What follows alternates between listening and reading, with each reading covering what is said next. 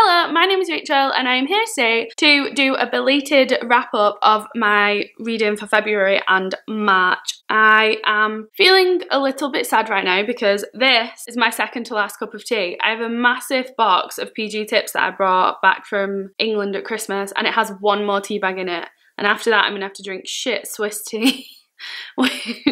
Like I don't know if you've just like been to other countries and tried to have tea. Well, tea, they call it black tea. You can't just call it tea. They don't have tea as like just like general tea and then you have the other teas. I, just, I don't know why I'm talking about tea. I'm just annoyed that this is like my second to last tea. I need to savor it. Yes, I'm going to talk about the books that I read in the months of February and March today. I'm going to do February first because I actually did plan to do wrap up and I wrote down how I found all the books. So even though I might not remember it, this writing does. So I wrote it down I just didn't film a video. So yeah, I'm gonna talk about those and then I will talk about, I only read two books in the month of March and they were both rereads so I'm not gonna talk about them too much. So I'm just gonna jump into it. I'm gonna talk about the books from like my least favourite to the best books that I read in February 1st. So yes, the first book that I read is called Timo the Adventurer and it was book one in I think a series but I don't think there's a series out yet. It was a proof copy that I got of NetGalley and it was published on the 20th of that month of February so it was quite new and the script was by Jonathan Garnier and the art was by Yohan Sacré. And this was just a cute little story about a little boy who's like going on an adventure and he loves books and he always reads about adventures and he wants to have his own adventure and if you've read Arthur and the Golden Rope I would those those two are very, very, very similar. And yeah, I really enjoyed it. It was quite cute. The art was wonderful. It really like pulled you in. That was good. I gave that one three stars. Then I read Snotgirl Volume 2, which is California Screaming. Can I just say, I absolutely love the artwork for Snotgirl. Number one, that it goes over like both sides. And just oh my god it's so colorful like i think because she has green hair and like her friend has pink hair and everyone's like hair and clothes are really like stand out as colored so it's quite a nice graphic novel to read. Like it really it really pops without it feeling like i feel like the graphic novels that do that are usually like comic booky superhero type things and i don't actually like those.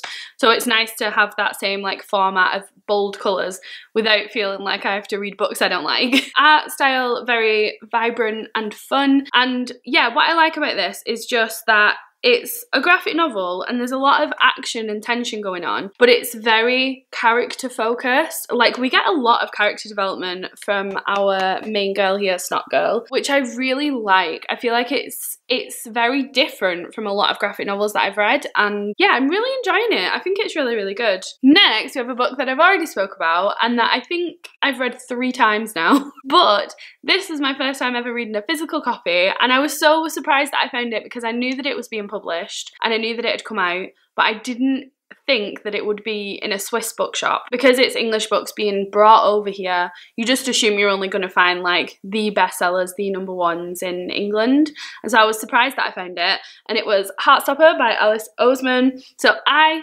love this graphic novel. I've been following the webcomic for about a year and this is the first volume of it that's been properly published and it's just beautiful. Like I always loved, like I loved it on the webcomic, the way that she sets out the squares. She has like all these squares really spaced out and really different from other graphic novels that I've read. But I think it really works and it worked fantastically in here as well. So this was great. And I also found out that the forecast for volume two being published is the 11th of July, which isn't that far away. So I'm very excited to read that one as well. I just realised I haven't actually been saying what anything's about. So Snotgirl is about a fashion blogger and basically she takes a lot of tablets. I think they're basically like kind of like anti-hay fever tablets because she has a lot of allergies. But then she gets moved to some new tablets and everything sort of starts to change. That's what happens in volume one.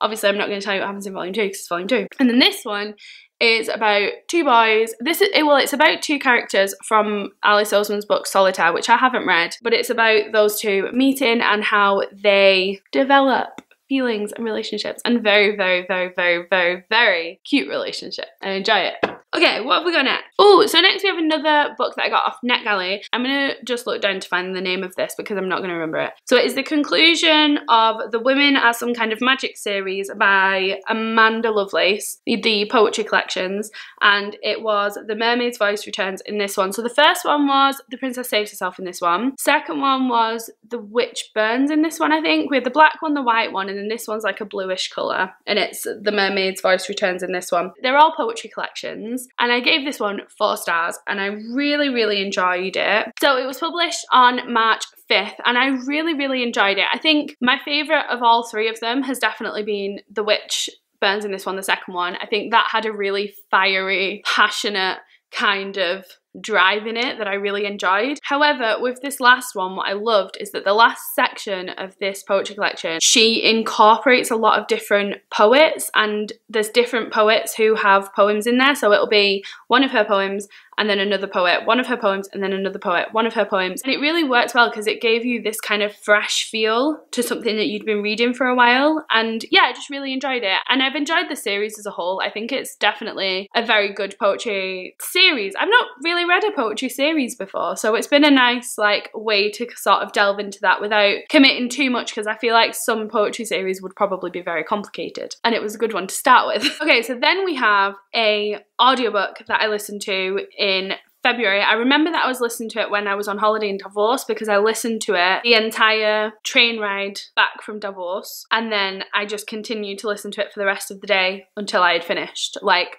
it was that sort of I just enjoyed it so so much it was fantastic and is If I Was Your Girl by Meredith Russo so this is an own voices book and we basically follow Amanda. She's moved to a new school. She's moved, she was living with her mum, but she's moved to live with her father where she used to live before they split up. She's moved to a new school. She's very popular at the new school and guys like her and she's like everything's good. However, the thing that I really enjoyed is that Amanda is trans. She's finished her transition and she is like in the body that she wants to be. She feel like she's happy with who she is like on the outside matching the inside, that sort of thing. And basically within If I Was Your Girl, we follow her journey towards like self-acceptance. And I think it was so well done. So the first thing that I loved about this book, her being trans isn't used as a plot device. It isn't something where it's like, oh, twist in the story, she's trans. Like, I don't think that would have worked or been respectful in any way, shape, or form. And that's not what happens. You are aware very early on that that is something that she is dealing with and it's never it's never something that's used as like a gimmick in the story which I really enjoyed. The second thing I loved is that oh my god it was so fun it's so so fantastic how she's done it. So you constantly have a worrying about other people. She's constantly worried about she makes loads of friends and she's like but these people wouldn't be my friends if they knew and they think I was weird and blah blah blah blah blah. And this boy likes her and he starts dating her and she's like but he wouldn't like me if blah blah blah blah blah and she stands in the way of it and she's always like no no no no and then with her dad like her dad tries to be as supportive as he can but he also like struggles a little bit still. And she's like you know he wishes that I had never been trans and never had any of these problems and blah blah blah blah blah. You're reading it and you can see how much all of these things that she's thinking she's just putting in the heads of other people they're not saying them to her but she's putting it in their heads because it's how she feels about herself and so oh my god oh it's so good at the end, there is this scene, and it is like a scene from a rom com. It's the thing where there's been a big drama, a big falling out, people haven't spoken, and then the main character and the love interest come back together and they speak. And it's like that moment where like they come back together in a rom com, it'd be like, I always loved you, blah blah blah. I overlook all of your flaws, blah, blah, blah, is that moment. And oh my god, I love that Meredith Russo didn't let that be the thing. So this guy basically says to her like, blah, blah, blah, blah, blah, I wish I didn't know, or I wish you weren't trans, or I wish he he says something that's he thinks isn't offensive, but it kind of is, and she just stands up for herself so much and then just walks away, and it's that moment where it's like they gave this like rom com moment at the end of the story to her being able to accept herself as a person and who she is and feeling happy with herself. It was so beautiful. I loved it so much. So I gave that one four and a half stars. Like the ending just absolutely blew me away. I think I would have given it like four stars, but the ending just really took it there. I was so, so happy with it. And I'm so glad that it's out there because there aren't a lot of trans stories out there. And I feel like this is a really good one. It has a good message learning to accept who you are, even if people around you don't. So that was fantastic. I will say there is an afterword at the end, and Meredith Russo talks about the fact that she wrote the story very perfectly. Amanda passes. No one thinks like she's trans, which isn't massively common and and she talks about a lot of different things where she says you know this wouldn't necessarily happen but I've used it for a fiction book because I wanted this to be such a positive story. So there are things that aren't particularly true to life, but I don't think that holds the story back in any way. Like it's still just fantastic. So would highly recommend it if I was your girl. It is great. Then the next thing I read in February was a book that I said I was going to read and I was so glad that I read because I always say I'm going to read books and I put books on my TBR and it's really sad. People like comment on my video like, oh, I'm so excited you're going to read this. I can't wait to hear what you think. Oh, I'm so excited you're going to read this. And I feel terrible because I make TBRs because I love making TBRs, but I hardly ever read the books on there because it's literally like the minute I tell my head what to read, my head's like, fuck off then, we're not reading. So basically just have to read whatever my head wants to read in the moment. But I did manage to read this one, and it is Saves the Cat writes a novel this is the like adapted version of Save the Cat, which is the Blake Snyder book on screenwriting. This is Jessica Brody who has adapted this to novel format. I read this while I was in Davos. I spent the full week reading it and I read this while I outlined that second project that I was talking about that I've just finished a first draft of.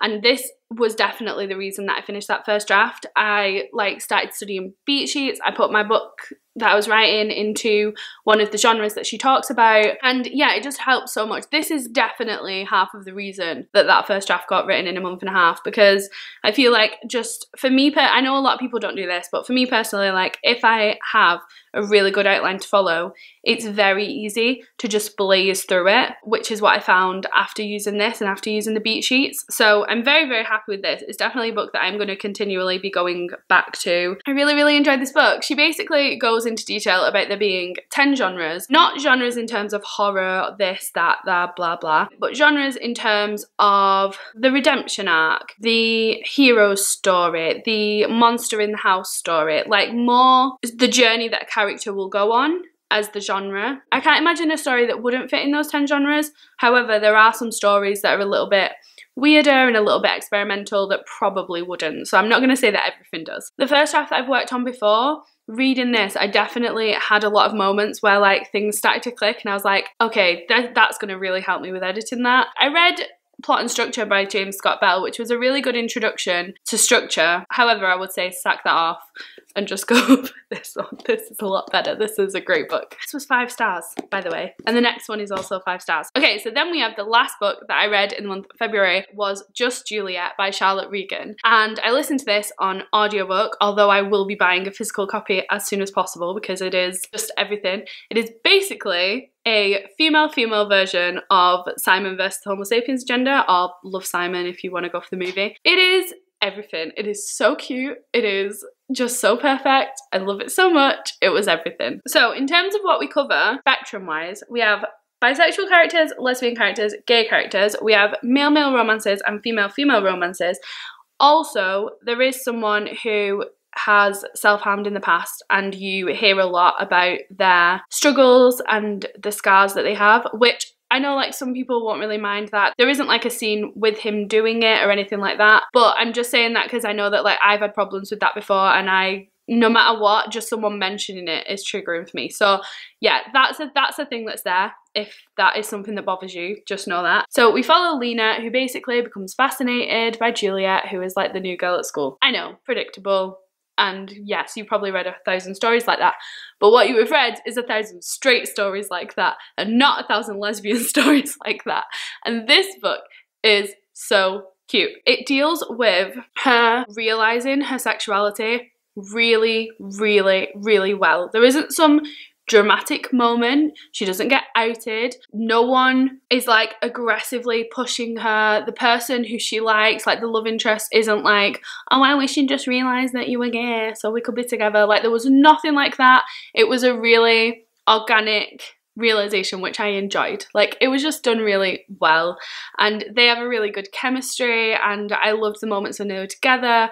The male-male romance in it as well, I loved. I thought they were adorable together and I think it was really cool as well because there was a lot of gay people in a friendship group together. So I feel like it's really common with these books where there'll be like one gay person and no, none of their friends are gay, they don't know anyone who's gay. If you are a part of the LGBT community, or if you just know anything about it, you probably know that it's like magnets. People just like come together the minute they find out that they're LGBT plus.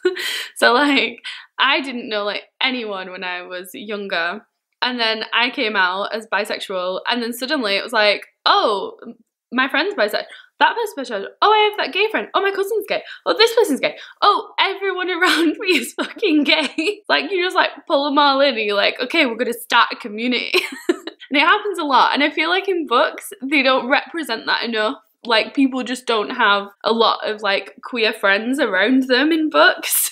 and it's it's just not really how it goes. Like I think 50% of my friends identify within the LGBT plus community in some way. And yeah, it's just it is just very common for people to be friends with each other. So I loved that it did that. It had a lot of people who were friends with each other who were also part of that community that was good. Also, like, just the characters are very sweet. We have a really accepting parental figure, which I loved. Like, so, so accepting and just so well done.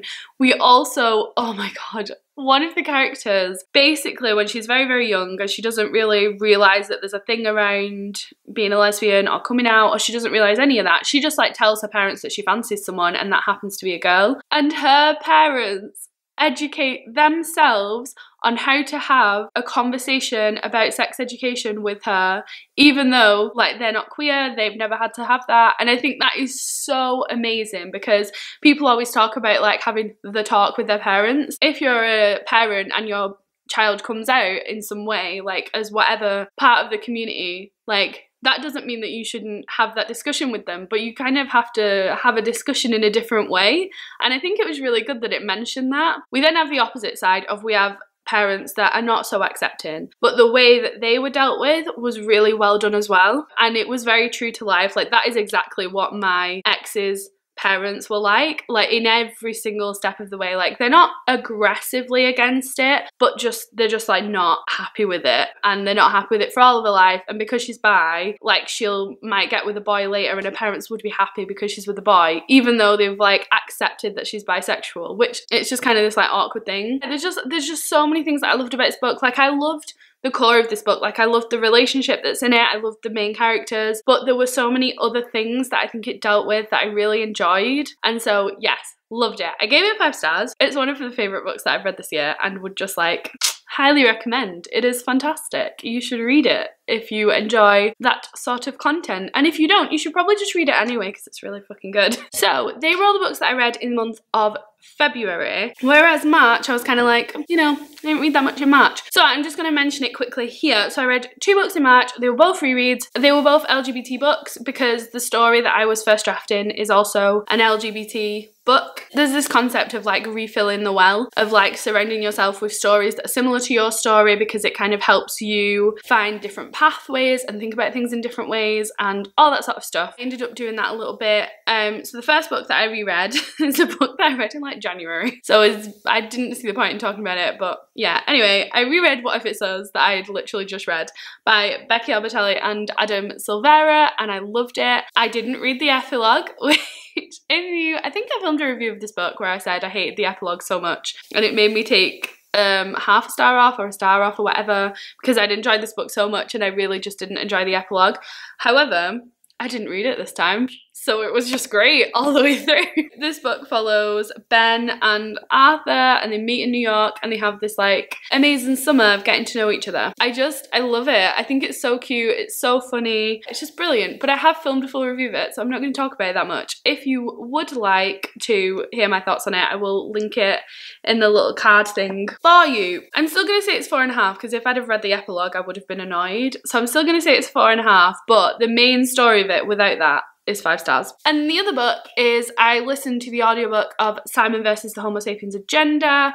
This is a book that I read like two years ago, I think, and it made me start to realize like how much I really enjoy reading like LGBT fiction. So it's a book that I really appreciate and enjoy. However, I didn't love it as much, and I think it's because I listened to it on audiobook. It just I still love Simon, I still love Blue, I still love their relationship, but I I think number one, I was listening to the audiobook and I don't think it comes across as well in audiobook because the emails don't come across well. Because in the book it's like multimedia and they've like formatted it really well with the emails. So that just didn't come through with the audiobook as much. So that was a bit of a disappointment. I think I was just more focused on other characters because I'd read books where they featured after. So like Leah on the Offbeat, we get a lot more about the side characters in Simon vs. Homo Sapiens Agenda. And so reading it, I kind of found myself focusing on them a little bit to be like, oh, can I see any of that? The stuff that comes later starting here. I just found that a lot of the characters weren't very well rounded. Like Nick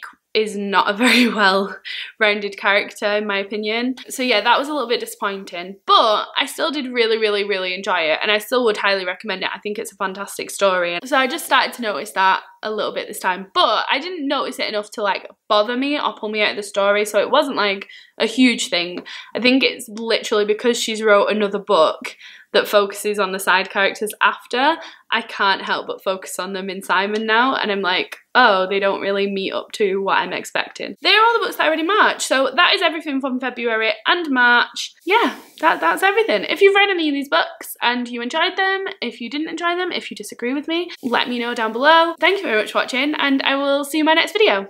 Bye!